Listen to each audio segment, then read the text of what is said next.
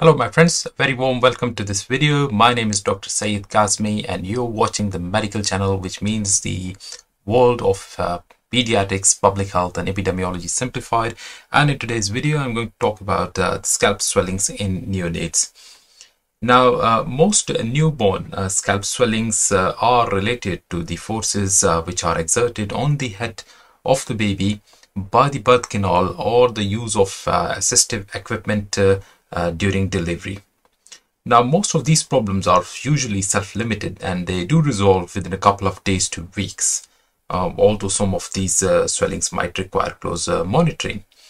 Uh, these swellings, they still may occur despite use of skilled obstetric and neonatal care and studies have shown that cesarean sections are associated less frequently with uh, swelling as compared to vaginal deliveries.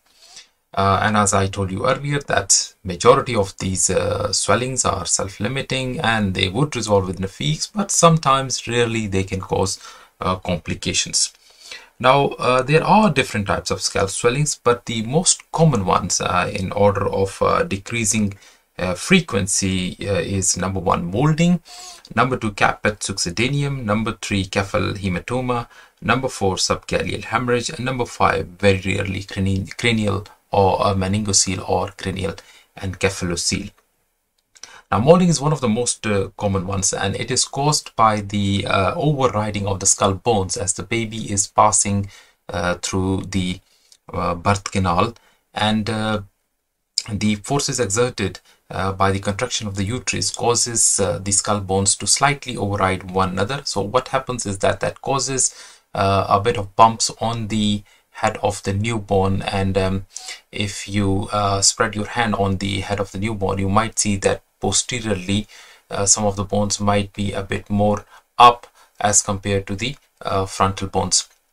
So that is molding and it usually resolves in a couple of uh, weeks. And the second one is caput succedaneum caput succedaneum is usually uh, what we call as a subdermal uh, swelling. It's caused by edema uh, in the subcutaneous tissue of the scalp and you would see a sort of a pitting edema of the scalp uh, which is not uh, bounded by the um, suture line so it's more uniform swelling which might be on the whole of the head or it might be on the half of the head but this swelling does cross the suture line in other words it is not limited by the suture line it's usually has got a uh, pitting edema uh, to it the third one is cephal hematoma. And cephal hematoma, as the name says, it's a, a hematoma. It's uh, the actually collection of blood uh, beneath the skin and this type of swelling is actually um, uh, limited by the suture lines.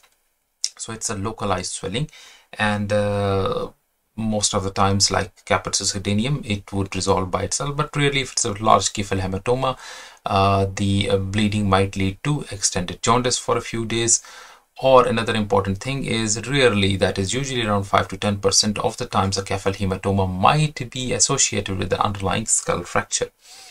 Then uh, is the subgaleal hemorrhage. Subgaleal hemorrhage or the, uh, as we call it, the subaponeurotic uh, hemorrhage is a worrisome, uh, worrisome type of bleeding which is caused uh, by the trauma to the diploic veins uh, which are present under the galea aponeurotica that can occur usually with the traumatic uh, deliveries. And there is also an increased incidence of subgaleal hemorrhage with vacuum extraction. And last but not the least, uh, meningocele and encephalocele in the cranial areas, which has actually protrusion of the meninges or the actual brain matter uh, through any part of the skull, uh, usually associated with um, other cranial, uh, the other brain abnormalities as well. that is quite rare. Uh, so uh, just a few key points in the history. Uh, when you're taking the history, you might uh, keep it in mind that they are associated with some of these swellings.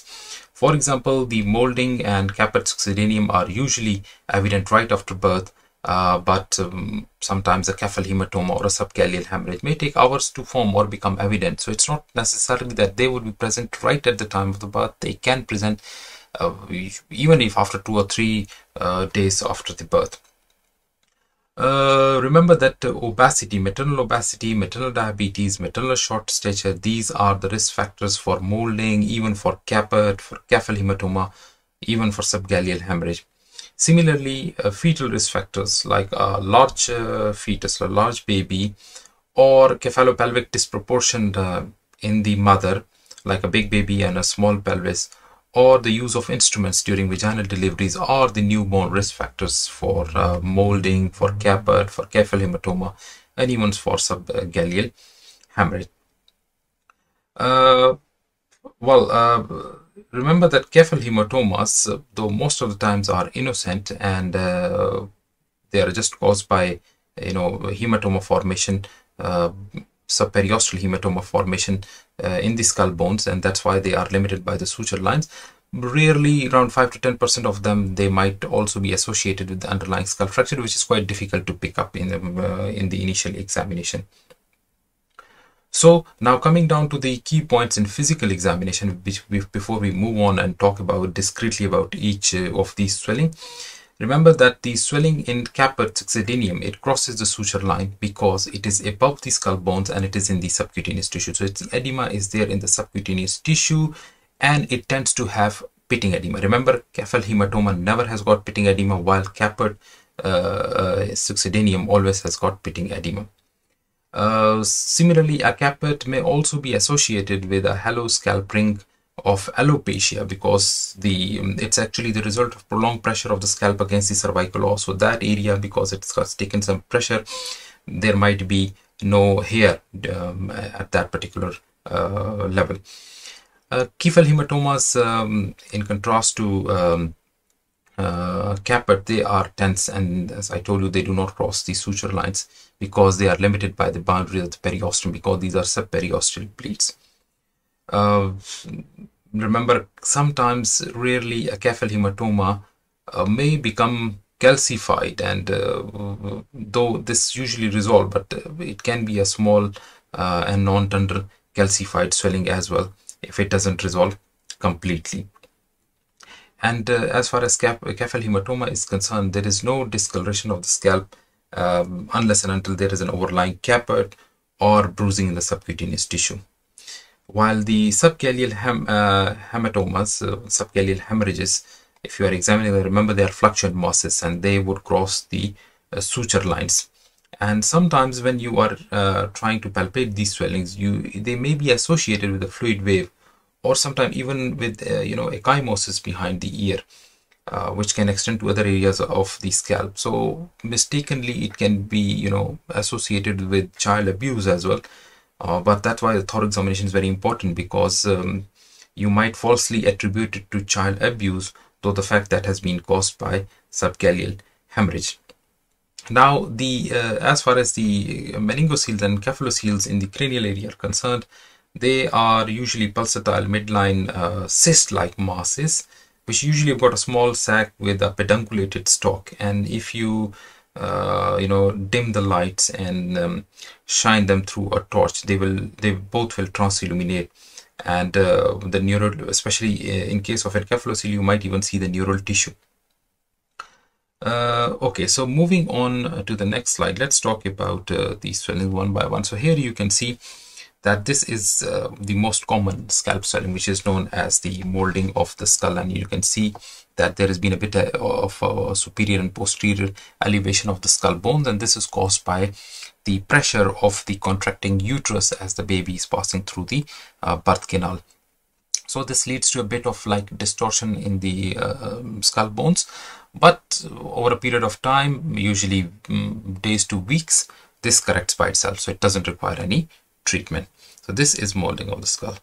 Uh, moving on to the next slide here, you can see uh, on this, uh, on the left side here, if I mark now, this is the area where you can see pitting edema of the scalp. And I told you that pitting edema is only seen in caput succedaneum. So this is a caput succedaneum, which is a generalized swelling um, of the scalp because this is edema of the subcutaneous tissue and this edema is pitting edema. So if you press your finger onto this swelling and keep it pressed, you will see that the, a pit would be formed and that pit would remain for some time before it comes back uh, to normal shape. Here on the right side, uh, in the top right here you can see that this baby has got a protrusion a swelling in the posterior and superior part of the skull which you can see it's not confined to any one suture line. It's quite like you know extending to almost three-fourths of his scalp.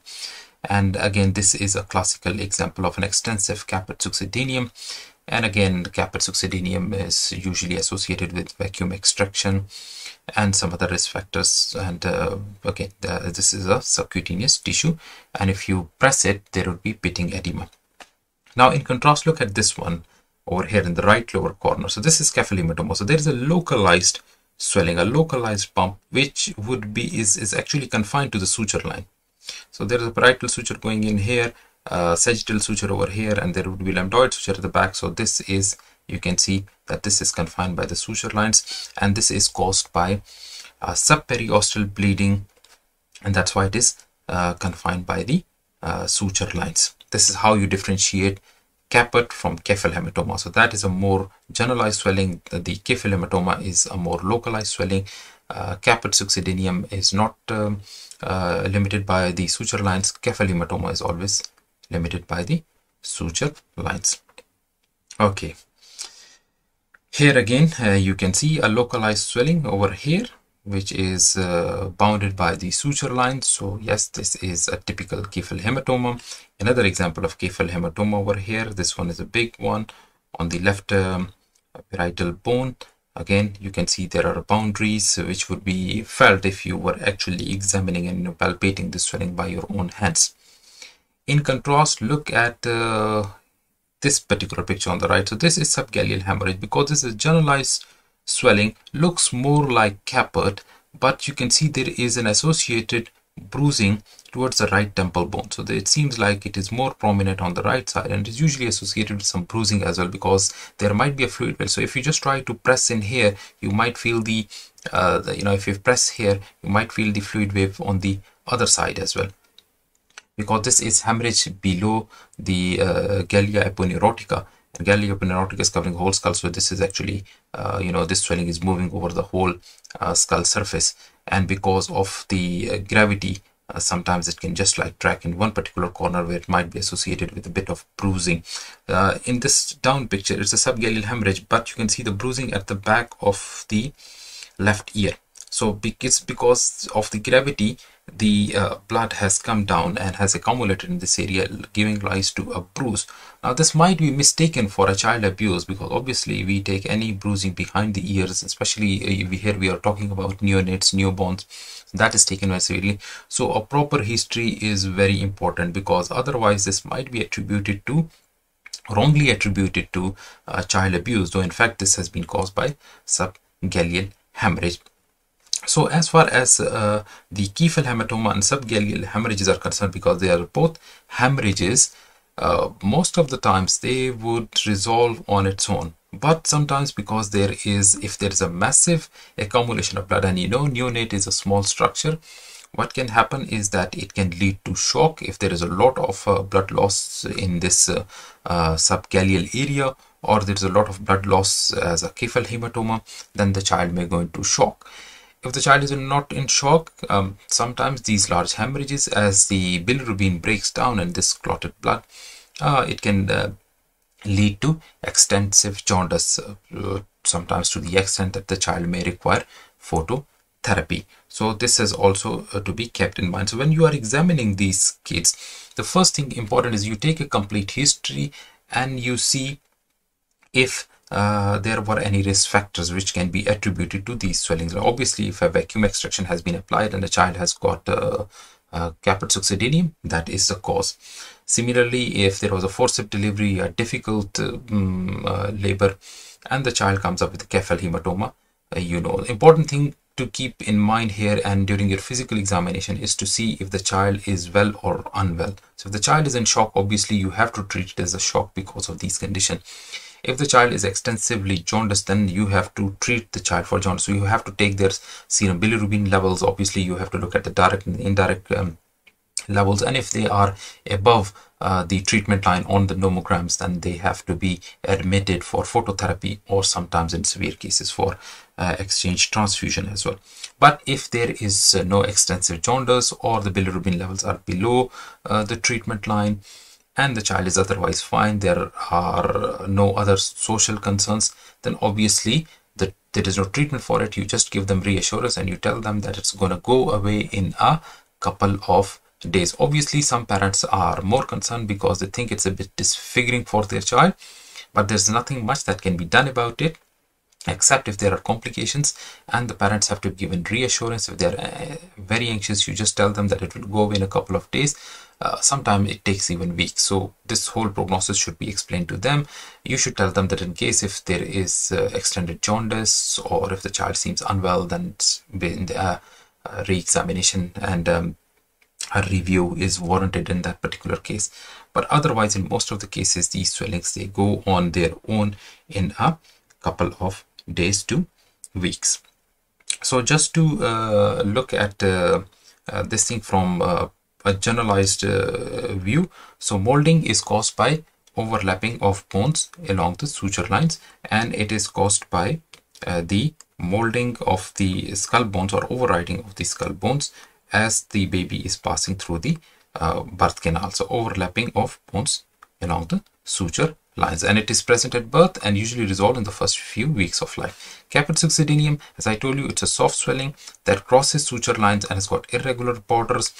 Uh, you might see dependent edema on one side. It's usually, if you press it, there is a pitting edema if it's a large one.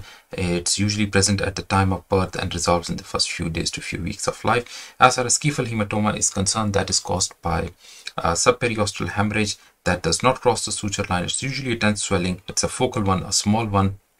Usually involves the parietal area, but can sometimes rarely be bilateral as well. And usually it is not present at the time of birth. It usually develops slowly over the first 24 hours of life and sometimes can take a couple of weeks to resolve, even sometimes two to three months. While subgaleal uh, hemorrhage or hematoma, this is a fluctuant uh, swelling that crosses suture lines just like caput um, uh, but the only thing is that um, it can have a fluid wave uh, sometimes if it is a big one. And this usually develops shortly after birth and again it can last weeks. Sometimes it just progresses and when it progresses it can lead to shock so that you have to uh, keep in your mind. Now as far as the uh, cranial and uh, meningocele and encephaloceles are concerned if you look at these pictures there is a large cranial encephalocele. So there is a protrusion of the cranial elements, usually the neuronal tissue, along with its meningeal sac either through the here you can see it is through the occipital area but here you can see that it is happening through the frontal area of so it's got usually a pedunculated stalk with a sac-like structure and if you shine light through it uh, in, in, a darkened room you might see uh, transillumination. Uh, if it is just completely transformed, it simply means that there is no neuronal tissue inside and just a cystic sac, which in that case it would be meningocele but if there is a brain tissue in it then we would call it encephalocele and these kids they usually have got um, uh, problems uh, um, because they might be paralyzed uh, because of the herniation of uh, brain contents into these sacs. And usually they require a lot of testing which uh, would include karyotyping which would include genetic studies and obviously um, MRI scans to see the extent and what else is wrong within the uh, central nervous system. They usually are present right at the time of birth and um, they require a lot of workup, but uh, they are not, they cannot be corrected uh, um, uh, by themselves. Uh, they obviously you have to do surgery on them, so they have to be referred to the pediatric neurosurgeon. So cranial, meningocele, and cephaloceles are usually associated with uh, genetic or with chromosomal abnormalities uh, these kids are definitely have got like a lot of uh, other issues as well. And they require extensive testing which include MRI uh, and other uh, you know testing depending on what you suspect. And they have to be referred to the neurosurgeons for um, resection and repair of uh, these types of swellings so this was a brief lecture on the differential diagnosis of uh, cranial swellings in newborns and neonates. I hope you have enjoyed this lecture, learned something new. And if you have liked this video, please uh, give me a thumbs up. And if you haven't subscribed so far to my channel, please do subscribe uh, as it helps and gives me motivation to make further videos. So if you've still got any question, uh, comment or query, put it down in the comment section below and I will try my level best to answer it as soon as possible. Have a good day and bye-bye.